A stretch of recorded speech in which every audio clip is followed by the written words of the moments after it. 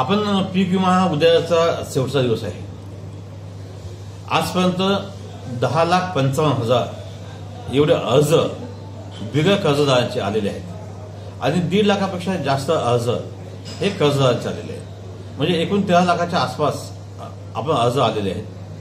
उद्या शेवटचा दिवस असल्यामुळे मी सगळ्या बँकेस बँक बँक बँक मॅनेजरला मग बी सी सी बँक असेल कमर्शियल बँक असेल नॅशनल बँक असेल किंवा प्रायव्हेट बँक असेल यांनी उद्या जे फार्मर्स येतील त्यांचा त्यांनी अर्ज भरून घ्यायचा आहे. अर्ज भरून घेतल्यानंतर जे काही प्रीमियमची रक्कम जी आहे ती रक्कम बँकेनी डायरेक्टली ह्या पीक विम्याच्या ऑफिसला जमा करायची. आणि नंतर त्यांना दोन तीन दिवसामध्ये त्यांनी फॉर्म अपलोड करायचे.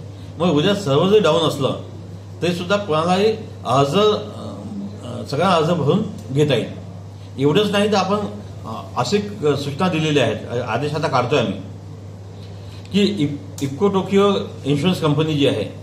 त्याचा एक ऑफिस कलेक्टर ऑफिसला आहे आणि त्याच्या प्रत्येक तालुक्याला एक एक एजन्सीज आहे एजंट आहे.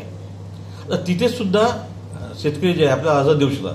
परंतु त्यासोबत आपल्याला एक डिमांड ड्राफ्ट लागेल. इफ्को टो टोकियोच्या नावाने.